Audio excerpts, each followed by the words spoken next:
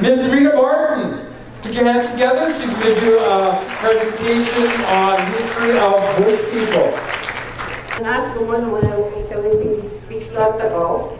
Um, Winnie mo ista mo ago bicho ta kakiwi sin wag sa kaka yipi usto pagito mi na kakigi wo usraw marchino na nga batista to.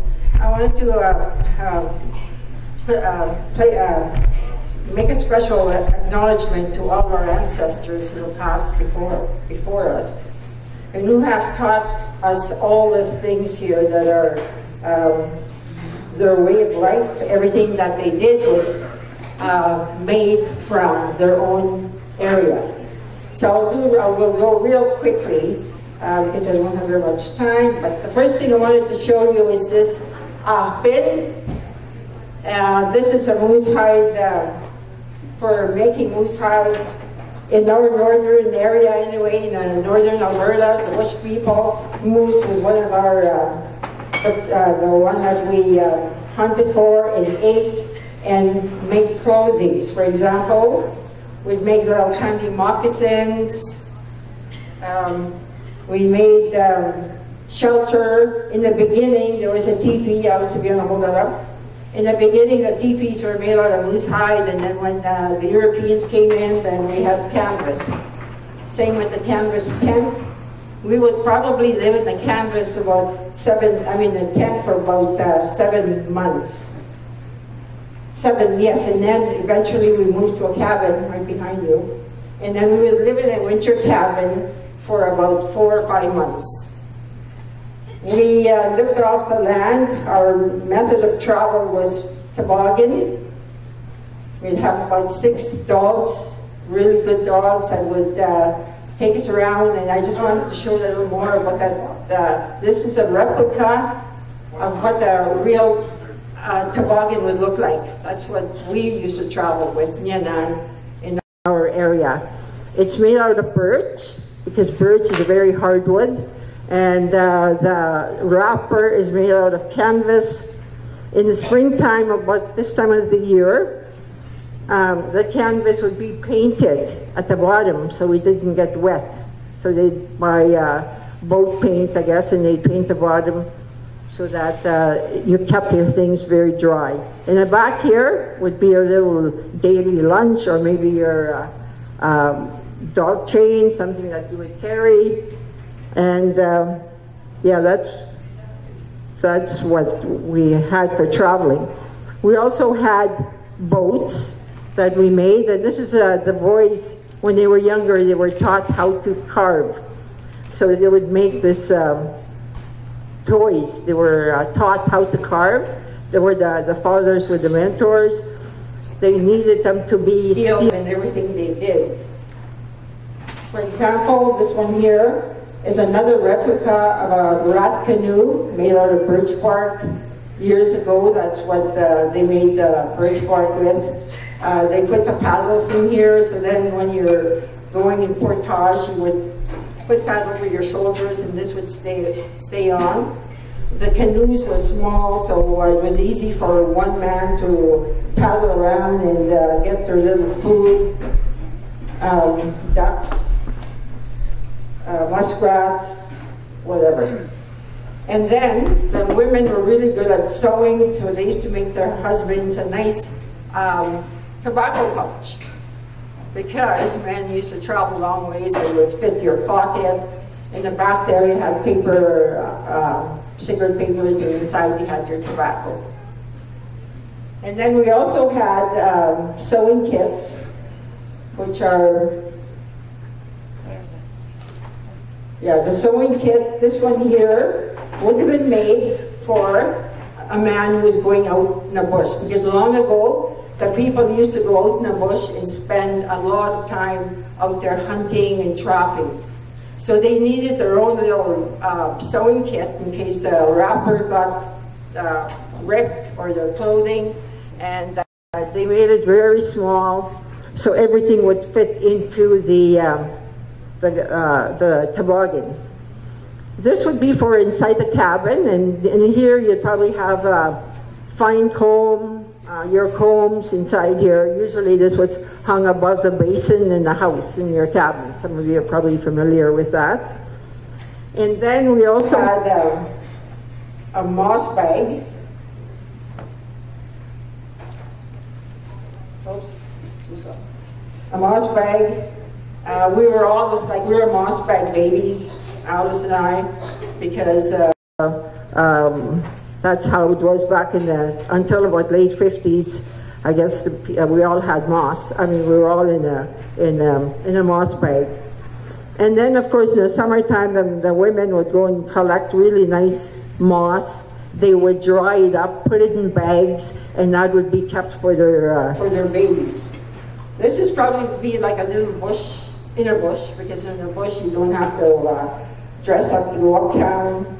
And then this one would be for like if you're going to community in town visiting, they would have a nice little lace hat with um, something to put over the baby's um, face so you don't get uh, uh, from the sun or even from the uh, mosquitoes.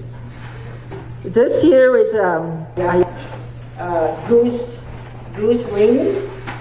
And um, this was for when we were in living in a tent, this was our broom. So we would be cleaning the, the our tent with this.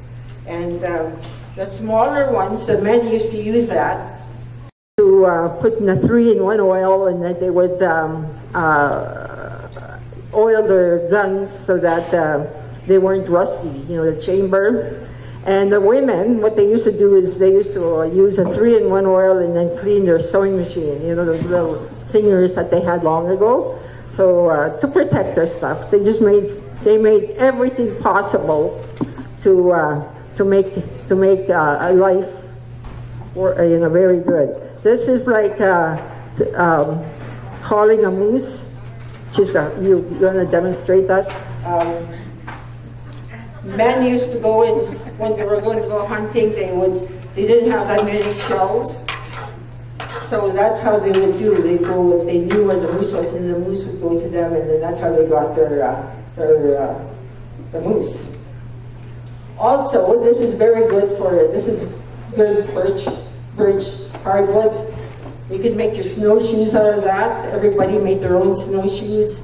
Um, the women were good at webbing, so they would use babiche. They would um, um, put that in the water, and once it was nice and nice, uh, once it was saturated, then they would web web the uh, the yeah the snowshoes. Um, this is uh, bear grease.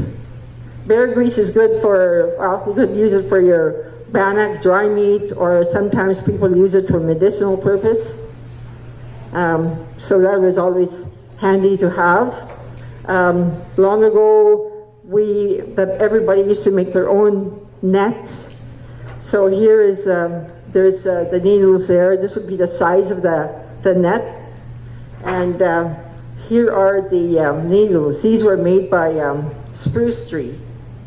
And yeah, everybody made that. My brother made these. So people in um, their own camps made whatever. That bridge basket was made by my father. It was out in the bush and uh, they were going to have a feast.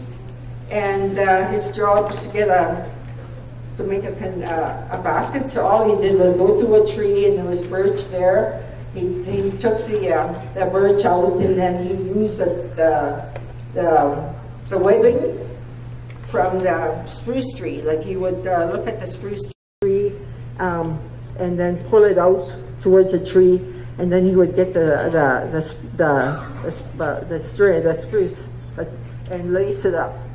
Uh, they use a birch tree, a willow tree, to make that circular. So this is was made in 1980, 80, probably in the late 80s, probably last a lifetime. This one is another basket. Um, this is more modern, modern type. I made this. But the reason why I wanted to show you the, um, um, uh, yeah, this um, cattails. You see some here, bulrushes? That was good for in the summertime. We used to go and eat bulrushes. And uh, that was a really good uh, snack. It was healthy. And in the wintertime, when it was very, very cold, the men used to break that, the, the bulrush. And then they'd make it as an insulation for their mittens. And if it was extremely cold, like maybe minus 30 or 40, they would make a little tiny ball and put it in their nose. So they would, when they went outside, they wouldn't have to inhale all that cold air. So that was a really good way of um, uh, uh, keeping warm, I guess, in extreme uh, weather. The grand, the old ladies were um, dressed like this. To put her legs down. they, were, they always had long, long dresses. And they were always dark. So they looked really fast and they had little wraparounds. See the wraparounds? Uh, the hair was always braided. They were always, always uh, babysitting, looking after the grandchildren, talking to them very, very nicely. Uh, so the children will grow up happy. Everybody in the camp was always happy, singing and playing and uh, visiting. Um, the, then what happened if there was no, um, uh, we didn't have um, fly talks or uh, just a uh, mosquito repellent back in the day.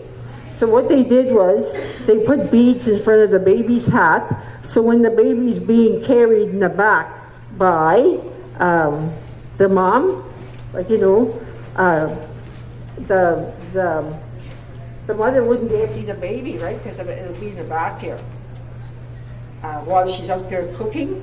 So the mosquito or uh, bee would go to the baby's face. The baby just has to move, and then uh, the bees would chase the the, the mosquitoes away. So that was another good way. There was a dog whip that everybody used to make uh, the men um, when they were driving dog team. This was a very important thing to have because if you wanted your dogs to uh, go to the next camp and you're wanting to, it's, you're hungry, you're gonna have lunch. Well, they used to practice whip so the dogs can go faster. They go, I mean, and then there was two types of yeah, yeah, they sleep. Here, I'll, get, I'll just get Alice to demonstrate them. Long ago, the men always used to have white shirts when they went to town. But occasionally, they had to do some work outside, right? Maybe bring some wood in. And they wanted to keep their shirt clean, so uh, they would go out and do their chores, and then after they came in, they take the sleeves back out, and the shirt would still be nice and clean. So that's what that was for. Um, what else is there? Yeah, I think that's, and then we have rat root that we always used to have around. It's good for the medicinal toothaches, uh, colds. There's spruce gum that we used to have for chewing gum. The dry one, yes. And then the one that was kind of uh, liquidy that was good for making your own ointments. So uh, if you got cut, that's what you would be using. So the reason why we wanted to do this is because I wanted to share a little bit of history. I do write-ups about this for the teachers who are here. I do have uh, things that um, that describes everything. So if you want that, I could give you a copy of that, and then later on you can come and browse and see what we have here. Say thank you very much.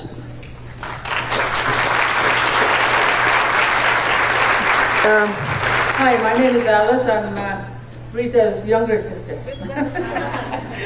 um, I, I, just wanted to uh, share uh, a, a, couple of thoughts with you and how it's important for us to continue uh, doing these kind of things. Now, this, I believe, is just an example of what all of you have in your own communities. So, when we talk about let's be the change, you be the change. And in regards to our way of knowing, our culture, what's important to us in our identity, our guest speaker spoke about it. And um, I think that because we've been, you know, colonized all these years, the assimilation plan that has been going on for many, many years, how do we be the change in today's world? And this is an example. So in, in order for us to practice You know, uh, practice makes perfect, right? And you know, every time today when we go to different functions, different events, so where you find our ways is behind in, in different rooms. It's never one of the priorities. I don't see it as one of the priorities when we go to events. It, it's just become, it's nobody's fault. It's just become a practice for us. So when we want to practice living what we heard Dale Wass's talk about and bringing our culture back, you know, being proud of who we are, and our guest speakers talking about who we are and being proud of who we are. We want to be honest. We want to be real. And today, practicing will make it perfect. So Rita, my sister, who's been doing this for many, many years, is an example of what you have today. And when we meet each other, you notice, uh, without even saying anything to each other, we just accept one another, that we are another. You're like me. So I don't have to say anything to you because we just know that you know what I know. And for us, it's, it's so important to then take that one step further and say that this way of knowing is our way of knowing. It's not just the Cree, It's Dene, it's Ojibwe, it's Mohawk, it's, it's all of us together. So, you know, how do we do this today? And Treaty 8 is a good example of let's practice that. Maybe each event we can showcase somebody else, another First Nation within Treaty 8. And all, all of us, different creeds, we have, you know, all, all our different cultures as well. Just because we're creeds doesn't mean this is just who we are. We have our own way of doing things. So let's practice honoring each other and what we know because many of you here know what I'm talking about. It's in your heart, it's in your DNA. So let's help each other bring this back and be proud of who we are. Only then can we begin that change, that being the change to undo all the stuff that has happened to us. I want to thank you for listening. Thank you.